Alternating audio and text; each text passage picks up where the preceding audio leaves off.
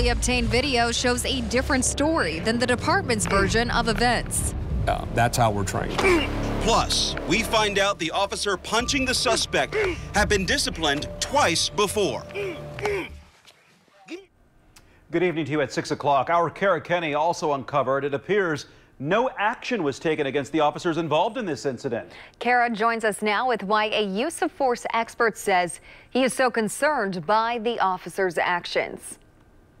Muncie Police has faced scrutiny in recent years amid allegations of excessive force. We've been requesting body camera footage since 2019 of several incidents in which excessive force is alleged. We haven't gotten all of that footage, but we did get some from a 2018 incident that made headlines. That cop's punching me, man. April 8th, 2018. A witness is rolling as Muncie police arrest Joshua Douglas. When WRTV first reported on Douglas' arrest, Muncie police only gave us this short clip of body camera footage. Hey, get back over here. More than two years after the incident, WRTV Investigates obtained multiple angles of body camera footage from the incident. It starts as Muncie police are responding to a report of an intoxicated person. Joshua Douglas initially ran away when they approached. Why'd you run? Because y'all pull up on me for no reason and doing all this. I ain't did nothing. We're, all we would have done was just sit there and talk just like what you and I are now. What's wrong with that? Because all this, all the extra is just, no, I don't be have time for it, man. I'm on parole. I work. I stay out of trouble. I've so been out since August. you being on parole, you take off running, you're just going to catch another case. I'm just saying. Right? Douglas continues to talk to officers while keeping his phone to his ear. Officer Alex Moore's body camera is rolling as he approaches the scene. Put your phone down. Well, did he? Phone down. Real quick, go and put your hands around your back, okay? Put what? your hand Don't down. pull away from me. Don't. Stay Put strong. Put your strong. hands.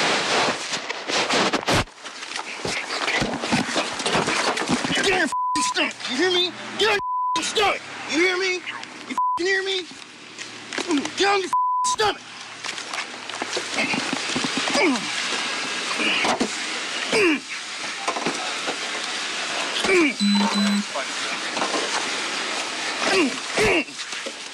Oh, this Give me your hands. Put your hand up. Officer Moore, the officer seen punching Douglas, says in his official report he approached after finding a bag of amphetamines and said Douglas tensed and continued to resist. I gave multiple loud verbal commands for Joshua to get onto his stomach, but he refused to do so. You punching me in my eyes? Your head, your teeth. In 2018, after Douglas' arrest, former Chief Joe Winkle told WRTV that the punching was not excessive. I don't think so. I mean, I think those punches, as long as you're telling him what you want him to do and where they were thrown, uh, that's how we're trained. Joshua Douglas suffered injuries and physical pain as a result of the arrest, according to an excessive force lawsuit filed against Muncie police in 2019. To help us understand more on the arrest, we shared the footage with Seth Stoughton, a University of South Carolina law professor and former police officer who wrote a book on police uses of force. When they bring him to the ground, the first thing that sticks out to me is at best, this individual is um, tensing his body, but he's not trying to get up. He's not trying to strike the officers. The uh, what appear to be a series of closed-fisted punches to the face are patently inappropriate. It's obviously excessive there. Stoughton says punches to the head, especially if the person is laying on the ground, significantly increase the chance of serious injury. So you're actually sort of impacting them in two places at once the point of contact between the fist and the head, and the point of contact between the head and the ground. It's a bad way to get them to comply because it is very instinctual that when you are getting punched in the face, you hide your face. Stoughton says the officer escalated the situation. The officer seemed unnecessarily aggressive to me, jumping immediately to put your fing hands behind your back. Stoughton says this exchange also stuck out. You punching me in my eyes? Your head, your teeth. And I'm a little alarmed at the way the officer seemed to relish after the fact having used force. That seems a little concerning. But the police department was not concerned enough to suspend, demote, or fire any of the officers involved, even after an internal review of the incident. We do know no outside agencies examined this incident either. Indiana State Police told us they never reviewed this footage and the FBI wouldn't confirm or deny any participation. We do know no officers were criminally charged in the Douglas incident. WRTV investigates uncovered Officer Alex Moore. The officer seen doing the punching had been disciplined twice before. His Muncie police personnel file shows he received a written reprimand in August 2016 for engaging in a physical altercation while off duty. A year later, he was suspended for 80 hours without pay for his role in a domestic dispute that took place while Moore was off duty. Yet Officer Moore kept his job until February 14th of this year. He resigned from the department nearly three years after the Douglas incident and after WRTV obtained the footage. As for Joshua Douglas and this 2018 incident, prosecutors dismissed a resisting law enforcement charge and he pleaded guilty to meth possession. Douglas is currently in federal custody on new drug charges. Officer Moore declined to comment to WRTV. And Kara, this is just one case. That's right, Amanda. We've requested body camera footage that's connected with excessive force lawsuits and federal indictments. All of this scrutiny has come at a significant cost to the city.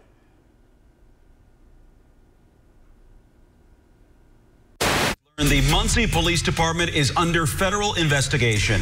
In September 2019, WRTV reported the federal government was investigating Muncie police for alleged police brutality. Federal investigation has been underway since mid 2018. Muncie Police Chief Joe Winkle stepped down shortly after at the end of 2019. On March 11, 2020, a federal grand jury indicted Winkle's son, Officer Chase Winkle, and two other Muncie police officers, Jeremy Gibson and Sergeant Joseph Krejsa, following an excessive force investigation on arrests not related to the Joshua Douglas case. Sergeant Joe Krejsa is accused of writing false reports. Sergeant Krejsa is no longer with the department. Chase Winkle and Jeremy Gibson still work for Muncie Police. They're on leave without pay. The new chief, Nathan Sloan, declined our repeated requests for an on camera interview regarding the Douglas case or his department's protocols. The Muncie assistant city attorney told us this administrative team is making a significant effort and is allocating considerable resources toward policy revision, training, and equipping our policing professionals.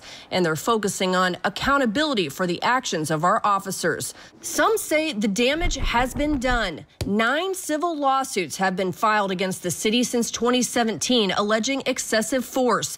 WRTV has learned the city has reached settlements in three of those lawsuits, totaling half a million dollars. It's not yet clear how much will be paid out by insurance and how much taxpayers will have to foot the bill. The case is settled. Joshua Douglas, Jesse Vernon, and Danny Terry. Terry received a settlement after his lawsuit alleged he was permanently injured. A Muncie police officer came up to Mr. Terry when he was laying face down on the floor and um, stomped his head into the corner of the uh, cabinets and the um, floor at least once, kicked Mr. Terry repeatedly, repeatedly kicked him while he's in handcuffs on the ground. Audio provided by Terry's attorney captures Terry interacting with police. Take this shit. Ow, you broke my nose. Like face down. Shut the f- up. My nose is broke, sir. Like I'm leaking over here. We'll take care of Yeah, that's what I thought. Don't actually say thing. Lay on your stomach. Ow, ow. Terry's attorney says he developed an infection and will likely spend the rest of his life in prison or a hospital. We are going to be judged as a society by how we treat the least among us. And we treat the least among us horribly. WRTV Investigates was first to show you the body camera footage from the Jesse Vernon case back in 2018. Just seconds into the altercation, both officers' body cameras fall to the ground. Oh my God! Please, I'm not doing nothing. Stop fighting! The body cameras are still on the ground as you hear officers deploy a stun gun on the handcuffed Vernon. Attorney Rob King represents Vernon. He acknowledges most of the suspects have criminal backgrounds when they had physical interactions with Muncie police. No person should be subject to um, illegal excessive force, regardless of that person's status or stature or standing within the criminal justice system. Prosecutors dismissed charges against Vernon. The Vernon and Terry cases are not part of the federal indictments against police officers, which identifies people arrested by initials only. All three Muncie officers federally indicted have pleaded not guilty and are scheduled for trial in September of this year. And we are still waiting on body camera footage from five additional cases, and we will keep fighting until we get it. And Kara, the officers federally charged could do time in prison, correct? Absolutely. Officer Gibson is facing 10 years. Sergeant Krejsa is looking at up to 40 years, and Officer Winkle could be sentenced up to 140 years in prison. All right, Kara Kenny, thank you for all your time with that and for that report. And to see the raw Muncie Police body camera video in its entirety, click on this story on our website, WRTV.com and the WRTV app.